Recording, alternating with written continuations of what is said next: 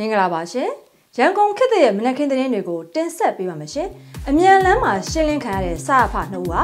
UG အသွင်ယူပြီးတော်လိုင်းရဲဘော်တွေကိုဖမ်းဆီးသူတွေဖြစ်ပါတယ်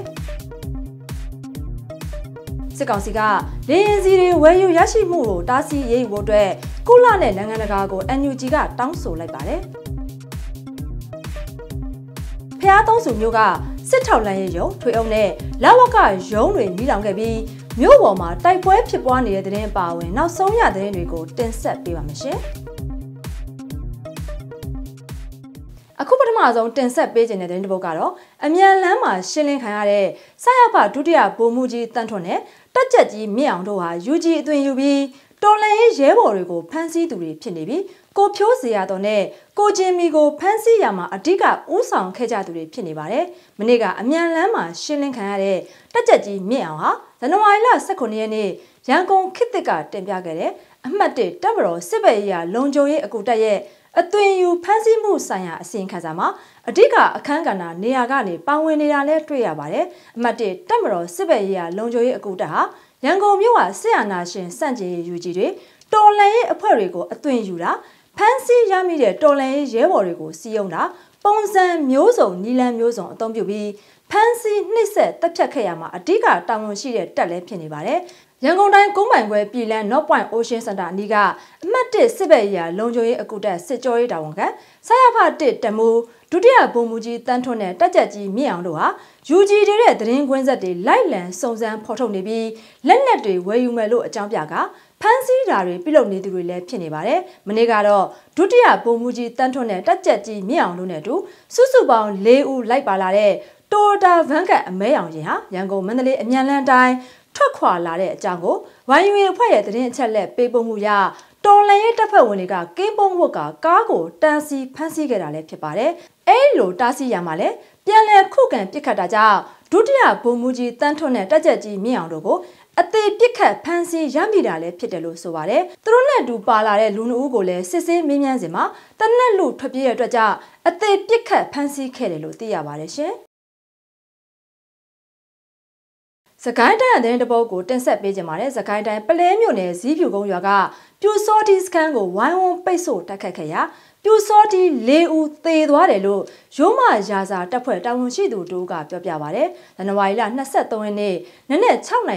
နစ်အချိန်မှာအင်အား80နဲ့ထိန်းချုပ်ထားတဲ့ဇီးဖြူကုန်းကျေးရွာကအကြမ်းဖက်စစ်သားပြူစောထီတွေကိုဒေသခံကာကွယ်ပူးပေါင်းတပ်ဖွဲ့တွေက ပြစ်ခတ်ဝင်ရောက်ခဲ့တာလည်းဖြစ်ပါတယ်။အဲ့ဒီတိုက်ပွဲမှာပြူစောတီ၄ဦးထံမှနဲ့သေသွားတာဖြစ်ပြီးအများအပြားလဲဒဏ်ရာရရှိသွားခဲ့ကစခန်းဖြစ်အသုံးပြုထားတဲ့ပြူစောတူးနေအိမ်၅လုံးထက်မနည်းကိုလည်းမီးရှို့ဖျက်ဆီးနိုင်ခဲ့တယ်လို့သိရပါတယ်။အဲဒီတိုက်ခတ်မှုကိုရင်းမပင်ခရိုင်တရင်အမှတ်20ရိုးမရာစာသခင်ဒေါင်းညိုဒေါင်းနဲ့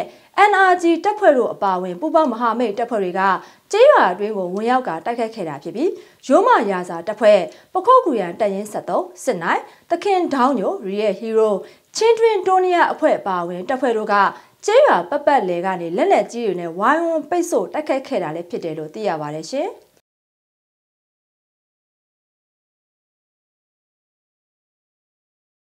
ဆက်လက်ပြီးတော့စကိုင်းတိုင်းရင်းမာပင်မြို့နယ်ကကျေးရွာ900ကိုအကြမ်းဖက်စစ်ကောင်စီတပ်ကမီးတင်ရှို့နေလို့ဒေသခံပြည်သူတွေကပြောပြပါဗျ။ဇန်နဝါရီလ23ရက်နေ့မနက်ပိုင်းအချိန်ကစတင်ကအကြမ်းဖက်စစ်ကောင်စီတပ်ဟာရင်းမာပင်မြို့နယ်အတွင်းကအင်းပတ်ရွာကြောင်ရှာရွာကြောက်ကုန်းရွာကြောက်မော်ရွာနဲ့ နှောပင်ရွာတို့ကိုဝင်ရောက်စီးနှင်းမီးရှို့ဖျက်ဆီးနေတာလည်းဖြစ်တယ်လို့သိရပါတယ်။ဒေသခံပြည်သူတူးကတော့စစ်ခွေးတွေကရွာတွေကိုပတ်ပြီးမီးရှို့နေတဲ့အတွက်ကြောင့်ပြည်သူတွေဟာရွာလုံးကျွတ်ထွက်ပြေးနေရတယ်လို့လည်းဆိုပါတယ်။လက်ရှိအချိန်ထိရွာထဲကိုမဝင်ရသေးပဲရွာပြင်ကနေပဲအခြေအနေကိုစောင့်ကြည့်နေရဆဲဖြစ်တယ်လို့လည်းပြောပါတယ်ရှင်။ ဆက်လက်ပြီးတော့ပြည်သူတွေကိုလေကြောင်းကနေနေ့စဉ်တပ်ဖြတ်နေတဲ့စစ်အုပ်စုဟာလင်းစီတွေဝယ်ယူရရှိနေတာကိုတားဆီးပိတ်ပင်နိုင်ရေးအတွက်ထိရောက်မှုရှိတဲ့အရေးယူပိတ်ဆို့မှုတွေပြုလုပ်ပေးဖို့အတွက်အမျိုးသားညီညွတ်ရေးအစိုးရ NUG ကတောင်းဆိုလိုက်တာလည်းဖြစ်ပါတယ်။အဲ့ဒီရေးယူမှုဟာမြန်မာပြည်သူလူထုရဲ့ထောင်ပေါင်းများစွာသောအသက်အိုးအိမ်စီးစိမ်ကိုကာကွယ်နိုင်မှာဖြစ်တဲ့အတွက်ကြောင့် စစ်အုပ်စုရဲ့လေရင်စီဝယ်ယူရရှိနေမှုကိုကုလသမဂ္ဂလုံခြုံရေးကောင်စီအဖွဲ့ဝင်နိုင်ငံတွေနဲ့နိုင်ငံတကာပိတ်ဆို့ရေးယူရေးအဖွဲ့တွေဆောင်ရွက်ပေးဖို့အတွက် NUG နိုင်ငံခြားရေးဝန်ကြီးဌာနကတိုက်တွန်းလိုက်တာလည်းဖြစ်ပါတယ်။အကြံဖက်စစ်အုပ်စုရဲ့ပြည်သူလူထုပေါ်သွေးချောင်းစီးတဲ့အကြမ်းဖက်လုပ်ရက်တွေကိုဆက်လက်လှုပ်ဆောင်နိုင်စေနိုင်တဲ့အရင်းမြစ်တွေကိုမဖြစ်မနေဖြတ်တောက်အရေးယူရမယ်လို့လည်း NUG နိုင်ငံသားကြီးကထုတ်ပြန်ထားပါတယ်။အကြမ်းဖက်စစ်အုပ်စုဟာပြည်သူကိုဥတီချက်ထားတဲ့ လေကြောင်းတိုက်ခိုက်မှုတွေကိုမြန်မာနိုင်ငံအနှံ့ပြားမှာကျူးလွန်နေတယ်လို့လည်း NUG ကထုတ်ပြန်ထားပါတယ်။ကျန်းဖက်စစ်တပ်ဟာစာတင်ကျောင်းတွေနဲ့စေယုံတွေကိုဥတီကျက်ထားရန်ကားနေပြီးကျောင်းကျိုးစီလော်မှုမရှိတဲ့တိုက်ခိုက်မှုတွေကိုကျူးလွန်နေတာကလည်းတိတာထင်ရှားတဲ့စစ်ရာဇဝတ်မှုတွေနဲ့လူသားမျိုးနွယ်စုပေါ်ကျူးလွန်နေတဲ့ရာဇဝတ်မှုတွေဖြစ်တယ်လို့လည်းဆိုပါတယ်ရှင်။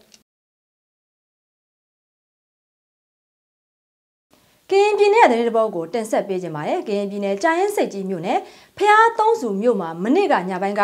စစ်ထောက်လိုင်းရဲရုံဆက်ရပါထွေအုပ်နဲ့လာဝကရုံးတွေမိလောင်ကျွမ်းနေပြီးမြို့ပေါ်မှာတိုက်ပွဲတွေဖြစ်ပွားနေတယ်လို့ပြည်သူတွေစီကသိရပါတယ်။ဇန်နဝါရီလ23ရက်နေ့ည10:00နာရီဝန်းကျင်အချိန်မှာပြစ်ခတ်မှုတွေစတင်ဖြစ်ပွားခဲ့တာဖြစ်ပြီးစစ်တပ်ဘက်ကရုံးတွေဟာလည်းမိလောင်ကျွမ်းနေခဲ့တာလည်းဖြစ်ပါတယ်။မနေ့ကညပိုင်းကနေပြည်တော်လေစိတ်ကနေ တိုက်လေရင်တစည်းဟာတောင်ဘက်ကိုတက်သွားတဲ့အတွက်ကြောင့်ဖျားသုံးစုဘက်ကိုသွားတာဖြစ်နိုင်တယ်လို့ကင်းတောင်အဖွဲ့တွေကသတင်းဖော်ပြထားတာလည်းရှိပါတယ်ရှင်။ မန္တလေးတိုင်းသတင်းတပုတ်ကိုတင်ဆက်ပေးကြပါမယ်။မန္တလေးတိုင်းမိုးကုတ်မြို့နယ်မှာအကြမ်းဖက်စစ်ကောင်စီတပ်နဲ့ PDF တပ်တွေကြားတိုက်ပွဲဖြစ်ပွားခဲ့ပြီးစစ်တပ်ဘက်က30နီးပါးထိခိုက်သေသွားတယ်လို့ NUG တန်ရင်1222ရဲ့ပြန်ကြားရေးတာဝန်ခံကပြောပြပါဗျ။ဇန်နဝါရီလ20မွန်လွယ်12:30မိနစ်အချိန်က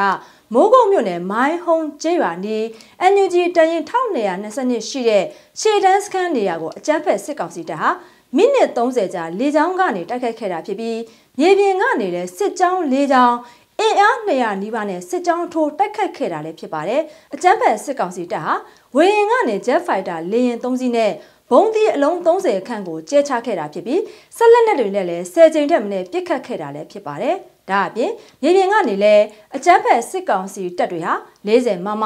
60မမ M9 တွေငကြင်းမိတွေနဲ့လည်းဒရက်ဆက်ပစ်ခတ်တိုက်ခိုက်ခဲ့တာလည်းဖြစ်ပါတယ်ဒီတိုက်ပွဲအတွင်းမှာအကြမ်းဖက်စစ်ကောင်စီဘက်က30နီးပါးထိခိုက်သေးသွားတာလည်းဖြစ်ပါတယ်အကြမ်းဖက်စစ်ကောင်စီလင်းပေါ်ကနေကြက်ချတဲ့လက်နက်ကြီးဘုံးစာထိမှန်ပြီး NUG တရင်1922က